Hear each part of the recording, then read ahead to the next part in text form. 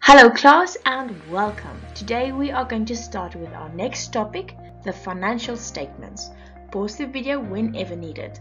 For this lesson you will need your textbook, your exercise slash theory book and the book where you completed your previous lesson's homework which should be your cash book.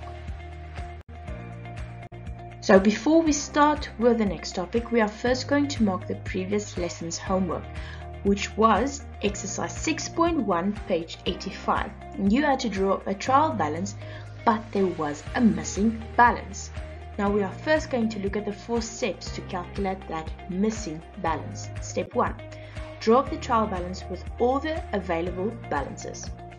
Step 2. We know that capital, the missing balance, will be on the credit side of the trial balance. Step 3. Get the total of the debit balances and write that same total as the total of the credit side. The balance of capital is then the difference between the debit side and the credit side, just like balancing. Pause the video now to mark your homework.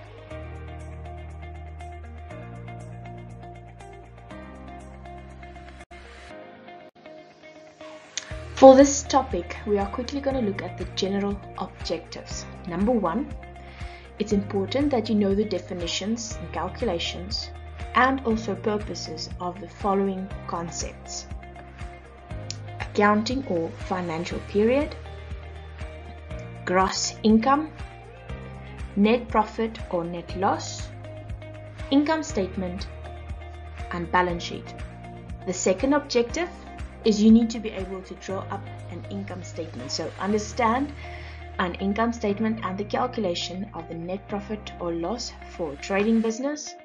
And then lastly, understand a balance sheet for trading business. So you also need to be able to draw up a balance sheet. Homework for the next lesson. Summarize page 89 to 91.